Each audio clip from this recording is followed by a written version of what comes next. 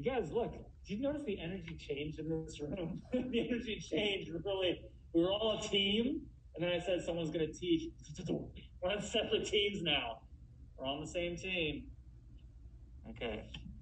You guys don't like my jokes today. All right, motor neuron. Oh, that's my hard wire. That's my cable to the lamp, right? It's going to this frog toe called a synaptic synaptic knob.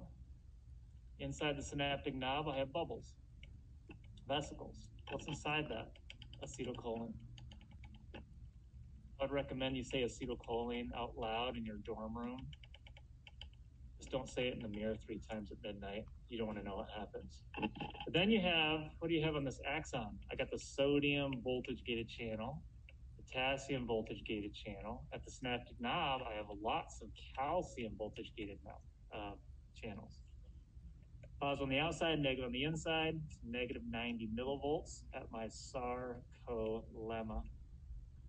There's two M's there. Then I have this gap, which is called the synaptic, what's it called? Cleft, right? But you do hear that cliff a little bit, right? Good. Then I have a sodium ligand gated channel, sodium ligand channel. How many? Two? No, many. And that's at the motor end plate. Oh, that's a good place to label that. Really good place to label that. I'm glad I did that by mistake. All right, this is my myocyte. Oh, I might as well label everything else. There's my Z line to Z line. There's my rope called tropomyosin. The knot is called troponin because it's a shorter word.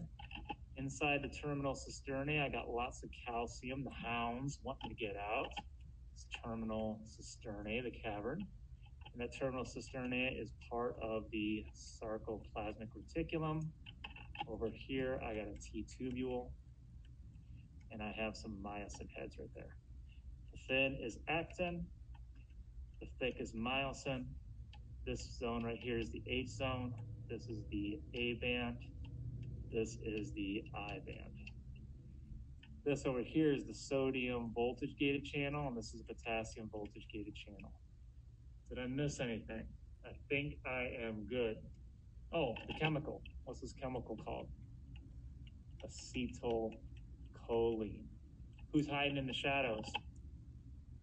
Acetylcholine esterase. So it's A C H E. You can almost take that E and kind of make a broom out of it. And what does acetylcholine esterase like to do? Sweep, sweep the gap and clean. Right? Yeah. All right. So I want to tase my bicep brachii muscle.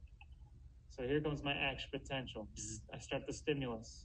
So at each segment, I hit negative 55, open up the door. I want that. Sodium rushes in, then you kendama.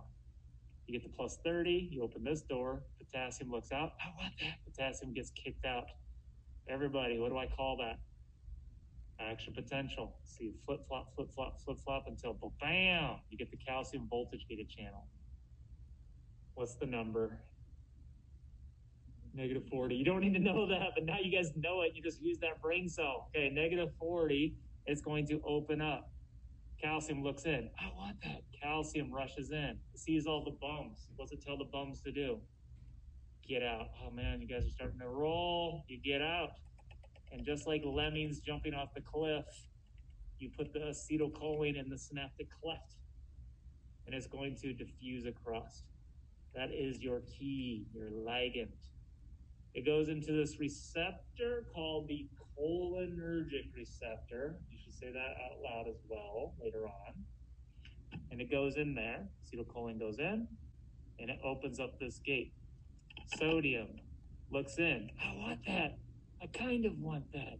I'm going to meander in because I kind of like that. So it meanders in slowly and you start to add plus charges in here.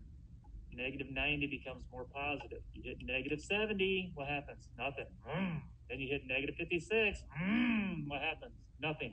Then you hit negative 55, what happens? Mm. You got this area to hit threshold for this gate. Sodium door opens up. Sodium, I want that. It rushes in. Plus 30, kendama. This door opens up. Potassium gets kicked out. What do I call this? Action potential. And you flip flop, flip flop, zoom, zoom, down a T tubule. The British are coming, the British are coming. Release the hounds. The calcium gets released. Grabs the troponin, pulls the rope. Myosin binding sites are exposed.